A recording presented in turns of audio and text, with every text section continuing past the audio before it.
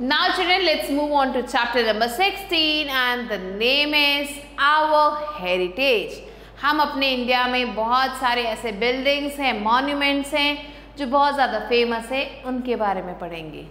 So our heritage of the historical mountains is in indeed valuable हमारा जो heritage है historical monuments का वो काफ़ी ज़्यादा वैल्यूबल है कीमती है।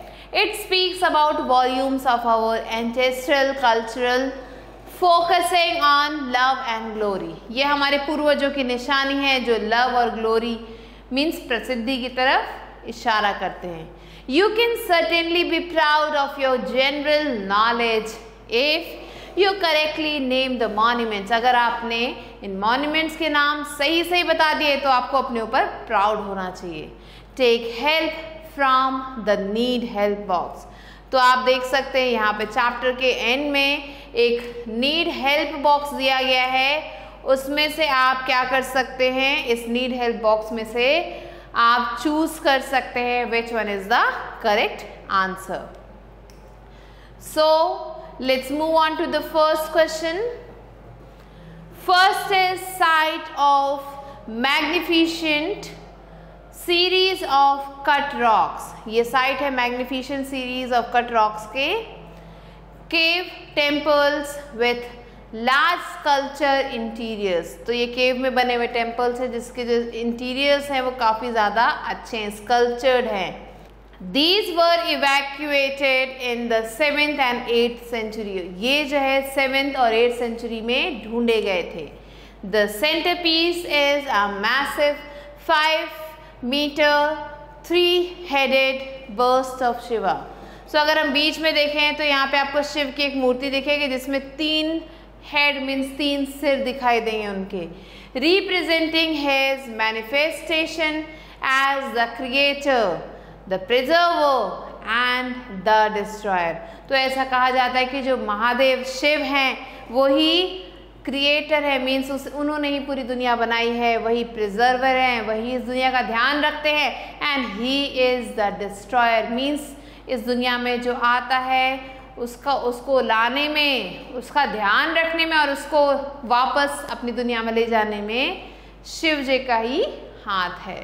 So what is the name of this temple so let's find out from the need help box So the name is Cave Temples of Elephanta. So let's write it here. Cave Temples of Elephanta.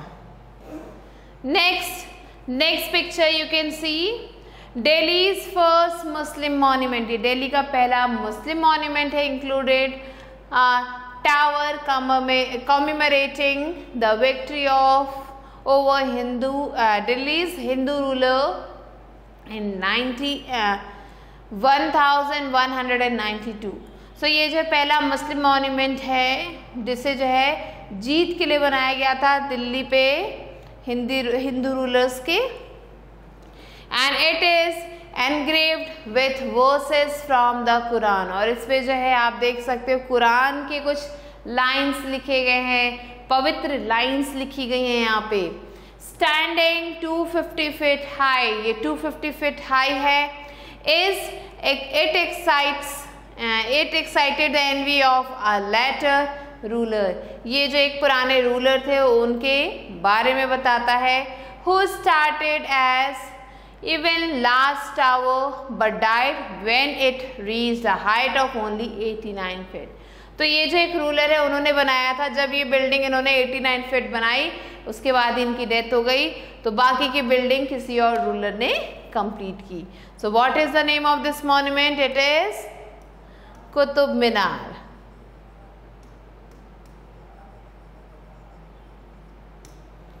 So this is the answer.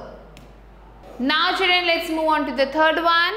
200 uh, crore edifice of pink sandstone sprawled across 100 acres on the bank of Yamuna stands majestically with 234 ornately carved pillars and 9 artistic domes, taking away the collection breath of the million amazed devotees. तो ये जो building है आपके सामने, ये 200 करोड़ से बनी है। पिंक सैंडस्टोन यहाँ पे यूज़ किया गया था और 100 एकड़ में ये बनी हुई बिल्डिंग है, जो कि यमुना नदी के किनारे है। यहाँ पे 234 कार्व पिलर्स बनाए गए हैं। और यहाँ पे आपको नाइन डोम्स दिखाई देंगे। ऐसे नाइन डोम्स दिखाई देंगे इस बिल्डिंग में जिसमें बहुत सारे लोग आते हैं और प्रेयर करते हैं। So what is the name of this building it is Akshardham It is Akshardham temple. Next, next picture you can see it is known as the Whispering Gallery because the gentlest whisper echoes across its greatest length. इस building को क्या कहा जाता है whispering gallery means अगर आपने हल्का सा भी कुछ खुशफुसा दिया किसी के कान में तो वो भी बहुत तेज सुनाई देता है यहाँ पे आपकी हल्की सी भी खुशफुसाहट भी इको हो जाती है और इस बिल्डिंग में फैल जाती है। This marvellous ecostal system was constructed by Sultan Adil Shah of Bijapur तो सुल्ला सुल्तान आदिल शाह जो बीजापुर के थे उन्होंने इसे बनाया था। इसका नाम है गोल गुम्बज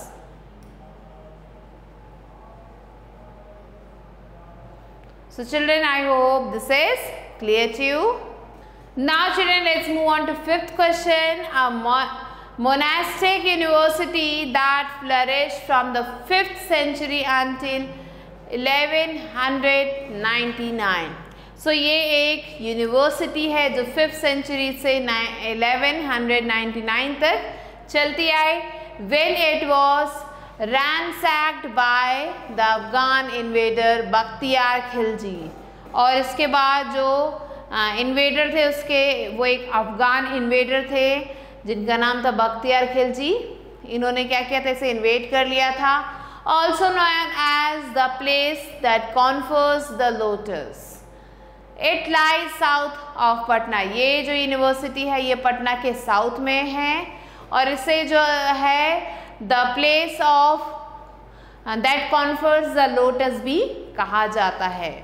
Lord Mahavir the last Jain Tirthankara and Lord Buddha render the preaching at this place so Lord Mahavir जिन्हें लास्ट जैन तीर्थानकर कहा जाता है और लॉर्ड बुद्ध जो है इन दोनों ने अपनी जो भी पढ़ाई है वो इसी यूनिवर्सिटी से की थी। Later it developed as centre of Buddhist learning बाद में ये जाके बुद्धिस्ट लर्निंग का एक सेंटर बन गया था। सो इसका नाम है Nalanda university. Next six one famous majestic monument of four towers ये काफ़ी ज़्यादा फ़ेमस मॉन्यूमेंट है, जिसमें फोर टावर्स हैं। Built in 1591 by Mohammed Quli इसे जो है मोहम्मद कुली ने बनवाया था। Of the Qutub Shahi dynasty so ये कुतुब शाही डायनेस्टी के थे is flood lit in the evenings और ये जो है, यहाँ पे काफ़ी ज़्यादा भीड़ आपको मिलेगी शाम को। This magnificent square archway is supported by four 48 48.7 metre high towers यहाँ पे आपको चार 48.7 मीटर हाई टावर्स दिखाई देंगे। Build to commemorate the end of local plague so जब लोकल प्लेग फैल गया था प्लेग एक बीमारी है जो रैट्स की वजह से, चूहों की वजह से फैली थी। जैसे अभी कोविड 19 फैला था ना, वैसे चूहों से एक बीमारी फैली फैली थी, जिसका नाम है प्लेग तो उस बीमारी से जीतने के बाद उसकी आप कह सकते हो उस उस जीत की खुशी में ये बिल्डिंग बनाई गई थी। एंड इस पिक्चर इस बिल्डिंग का नाम है चार मीनार क्योंकि यहाँ पे आपको फोर मीनार दिखाई देंगे। तो the name is Char Minar. Next children next seventh one is Chandela dynasty build 85 temples of which only 22 exist now. तो चंदेला डेनेस्टी ने टोटल 85 टेम्पल्स बनाए थे, जिसमें सिर्फ़ सिर्फ़ 22 बचे हैं अभी तक। These temples are design to lead one's eye from ground level to upwards to the ultimate heaven Kailash तो ये जो बिल्डिंग है, ये ऐसी बनाई गई है कि जिससे आदमी ज़मीन से आसमान तक देखे तो उसे कैलाश नज़र आए They are ornately carved, depicting the genius of craftsmen and the king who inspired them. तो ये जो बिल्डिंग है, ये इतनी सुंदर इसकी जो है काविंग की गई है जो उस समय के जो लोग थे, जो नक्काशी किया करते थे, जो बिल्डिंग्स बनाते थे, उनकी याद दिलाता है। उस समय के जो किंग थे, उनको, उनकी याद दिलाता है। So what is the name of this temple you have to name it yourself now at one is known as a white pagoda इस बिल्डिंग को वाइट पगोड़ा के नाम से जाना जाता है। It was build in the twelfth century ये twelfth century में बनाया गया। The main building is 65 metres high जो मेन बिल्डिंग है वो 65 मीटर हाई है summon by the monastic wheel and flag of Vishnu और यहाँ पे विष्णु जी का फ्लैग और व्हील आपको ज़रूर देखने को मिलेगा। So what is the name of this building write it yourself from the need help box.